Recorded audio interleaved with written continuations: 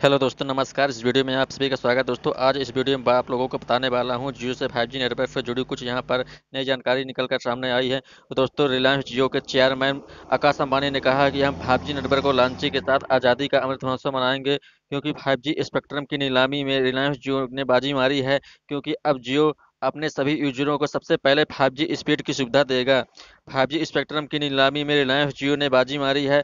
5G नीलामी कुल एक लाख पचास हज़ार एक सौ तिहत्तर करोड़ रुपए की हुई है, जिसमें से अकेले जियो ने अठासी हज़ार अठहत्तर करोड़ का स्पेक्ट्रम खरीदा है। यानी पचास फ़ीसदी से अधिक के स्पेक्ट्रम पर जियो का कब्जा है। 5G स्पेक्ट्रम के तहत इक्यावन हज़ार दो सौ छत्तीस मेगा हार्ट की नीलामी हुई है। स्पेक्ट्रम की नीलामी में सबसे अधिक बोली रिलायंस जियो इंफोकॉम ने अपने नाम किया है।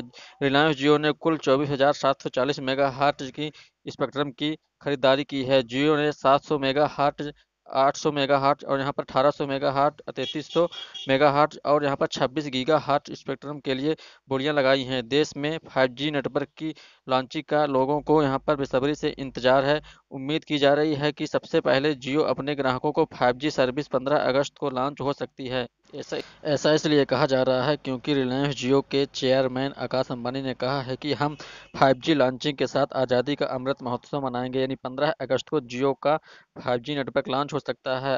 आकाश अंबानी ने अपने एक बयान में कहा है कि हमारा हमेशा यह मानना रहा है कि नई प्रौद्योगिकियों को अपनाकर भारत दुनिया का एक प्रमुख आर्थिक शक्ति बन जाएगा।